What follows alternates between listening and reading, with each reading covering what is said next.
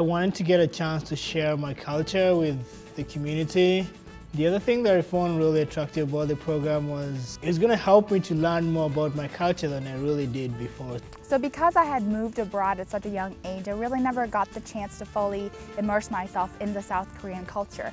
So I wanted to go back to my roots and find out more about the places and the culture that I came from. We would go and present about 45 minutes to an hour, including question time, and include a lot of interactive exercises for them to get to know me as a person, as well as through me, my country and where I come from. We would present different topics ranging from uh, ecotourism all the way to the, the issue of healthcare in my country.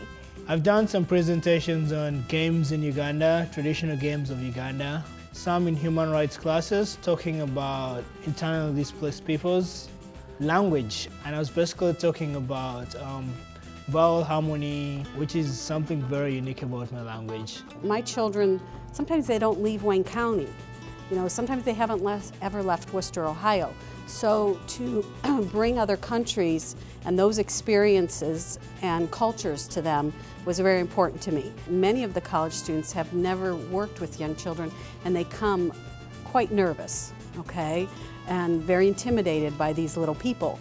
Um, but really, they do a fine job.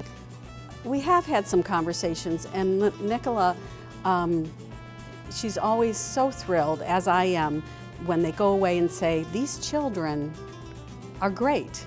Throughout the whole school year, it's just four or five of us that really go to these off-campus places that's kind of strange to us. And we go through that kind of adventures together and get really get to feel out for the community. And I think going through those experiences at least two or three times, if not more a week, really helps us bond with each other and I really got to know those ambassadors on a personal level.